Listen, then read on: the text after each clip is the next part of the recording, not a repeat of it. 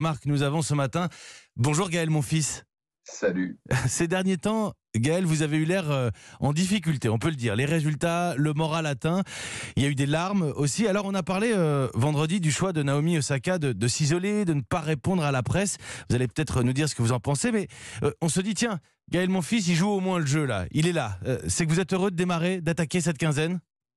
Je suis toujours heureux de revenir à Roland Garros, ça c'est sûr.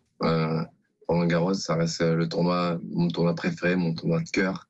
C'est sûr que quand je parle d'énergie, euh, il y a une énergie différente, en espérant que ce soit le dernier Roland Garros comme ça et qu'on retrouve euh, une énergie euh, différente euh, l'année prochaine.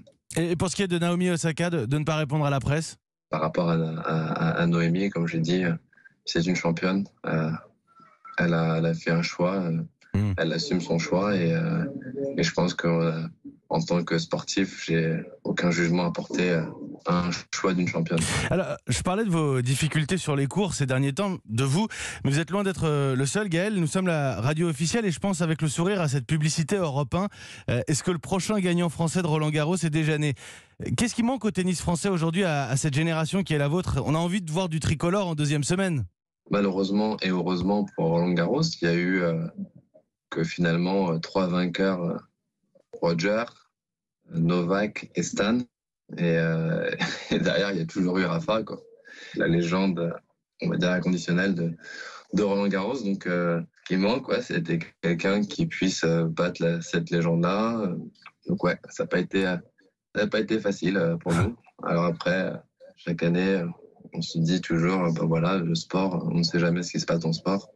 On ne sait jamais, est-ce qu'il n'y a pas un Français qui, qui arrivera aller en deuxième semaine et qui arrivera peut-être, pour X raisons, à, à- à gagner euh, ce titre? Et, c'est ça qui est un peu la magie du sport, on va dire. Quoi. Mais euh, en toute sincérité, euh, on sait tous quand même euh, que les cadors sont bien présents et, et qu'ils sont tous plus forts que nous, tout simplement. Merci Gaël, mon fils, euh, sur Europe 1 ce matin. euh, Et bah, justement, cette génération qui se trouve euh, confrontée à des cadors, des géants, parmi lesquels Raphaël Nadal, 13 fois vainqueur ici à Roland Garros. Il y a désormais une statue de l'Espagnol qui trône. Vous pouvez la, la voir. Et nous l'accueillons ce matin. Bonjour Raphaël Nadal. Hello, how are you? Bonjour, comment allez-vous? Euh, Très bien, et vous-même? Very good. Très bien. Alors Raphaël, vous avez, euh, je le disais, cette statue ici maintenant, euh, impressionnante. C'est assez fou, euh, j'imagine, pour vous. Mais quand, quand vous repensez aux jeunes joueurs que vous étiez lors de votre première participation ici, quand vous pensez à, à ce qu'il est devenu, qu'est-ce qui a changé? Comment avez-vous changé aussi? Well, when I came the first time here, Alors, la première fois que je suis venu ici pour disputer un tournoi, c'était en 2005. uh, J'étais venu avec beaucoup de motivation. Et aujourd'hui, je reviens à quoi euh, 16 ans plus tard? Et j'ai toujours la même motivation, toujours la même passion. Donc, avoir ma propre statue ici, à Roland Garros, c'est quelque chose d'unique, forcément. Et c'est très, très important pour moi. Donc, Juste le fait de savoir que je vais avoir cette statue à Roland Garros pour les prochains jours, ah, c'est quelque chose de très spécial pour moi. Alors on en parlait avec Gaël, mon fils, hein, ces derniers mois ont été euh, compliqués pour euh, tout le monde, mais voilà, le retour du haut niveau, le retour du, du public, euh, c'est ce qu'on raconte ce matin. Nous, nous nous retrouvons, vous jouez à nouveau. Tiens, Raphaël Nadal, est-ce que vous défendrez votre titre olympique l'été prochain à Tokyo? Je ne sais pas encore. Il me reste euh, encore quelques semaines pour décider. Je vais devoir regarder mon calendrier. La situation n'est pas encore tout à fait claire. hein. J'ai bientôt 35 ans. Donc je dois prendre les bonnes décisions. Ça veut dire bien réfléchir hein, en fonction du nombre de matchs que je vais jouer euh, d'ici là. Ça dépendra aussi de mes résultats ici à Roland ou à Wimbledon. Donc on verra, je vais repousser un peu ma décision. Je voudrais qu'on parle des, des différentes générations de, de joueurs ici. Alors d'abord, Roger Federer, bientôt 40 ans. Il est là à Roland Garros cette année. Vous avez été euh, rivaux, Raphaël. Aujourd'hui, cette longévité, c'est un modèle pour vous?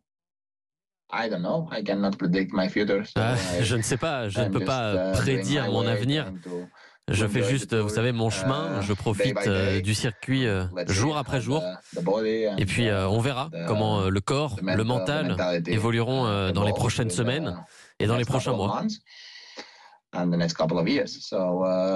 Je pense que Roger est un vrai passionné de notre sport.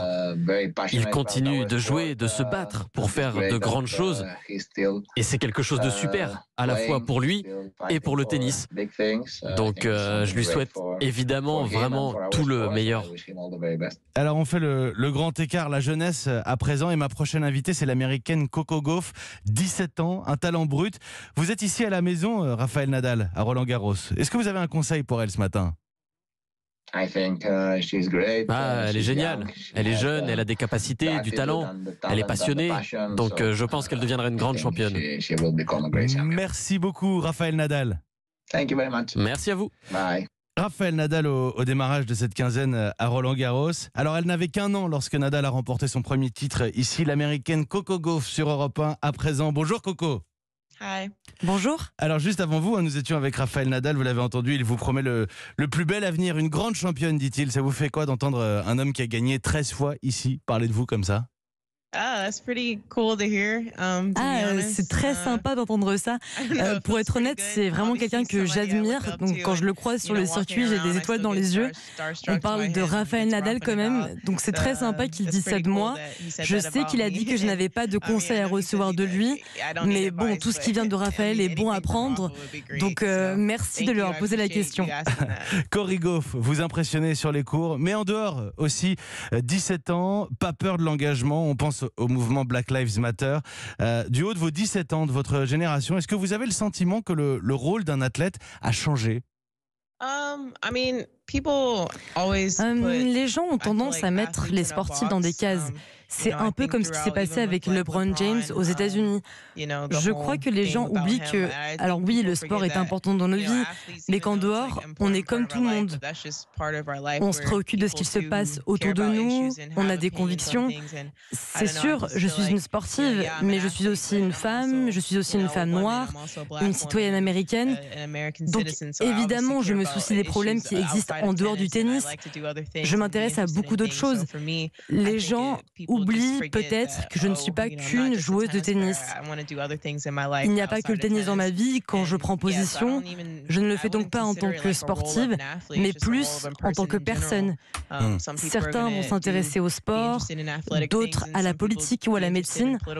Donc je ne sais pas si c'est le rôle d'un sportif, mais surtout celui d'une personne dans ce monde. Alors vous êtes euh, souvent comparé au, au Sir William euh, noire américaine bien sûr, mais surtout très douée, très jeune. Quand on regarde les tableaux ici, on peut s'amuser. Hein. vous pourriez vous retrouver en finale face à Serena Williams. 22 ans vous séparent. Cette affiche, c'est quelque chose que vous espérez? Uh, oui, bien sûr, jouer Serena en finale, ça serait super. C'est le rêve que j'ai toujours eu. Et c'est vrai que les gens me um, comparent beaucoup à elle. Et bien sûr, c'est un compliment, mais je reste concentrée sur moi-même parce que je ne serai jamais Serena Williams. Et à l'inverse, Serena ne sera jamais moi. Nous sommes différentes, avec deux cerveaux. Et je uh, comprends pourquoi les gens me comparent souvent à elle, mais je veux être connue comme Coco et non pas comme l'héritière de Serena Williams ou comme la prochaine Serena Williams. Je veux juste être Coco Gauff. Coco Gauff, Cory Gauff, la jeune et talentueuse américaine, mon invité ce matin. Merci Coco et merci à Gaël Monfils et Raphaël Nadal, rien que ça, qui ont joué le jeu de ce tête-à-tête Europe matin, délocalisé à Roland Garros.